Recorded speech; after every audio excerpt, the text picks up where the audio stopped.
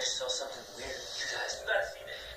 There's this footage of me at my seventh birthday. We were all at your seventh yeah. Just watch this. Right there. Look in the mirror. That's me.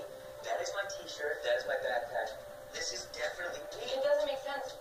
Look at that. It's in my dad's old workshop. It's like clicking or something.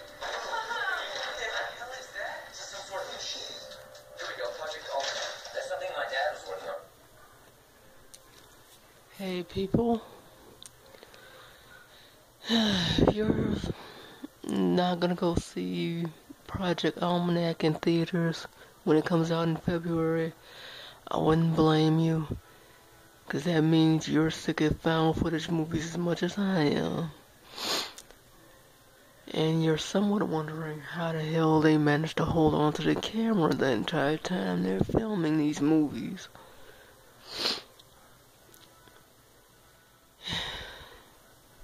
This is one movie I will never go see in theaters, along with Fifty Shades of Grey. Yeah, but that's for a different reason. If you know by now, this found footage movie is about a bunch of idiots going back in time, screwing with the timeline, and basically blinking themselves out of existence. They get what they want halfway in the middle, then halfway close to the end, it starts to go to shit.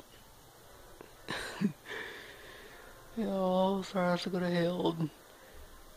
So I'm gonna save you the money. The, the last dude who probably gets involved in this, the one who keeps saying he's gonna go back and fix things, if you've seen the trailer, probably doesn't end up fixing anything, and he blinks himself out, exi- out of existence. Save your money and go see The Duff, which is a, another probably gonna be failed movie.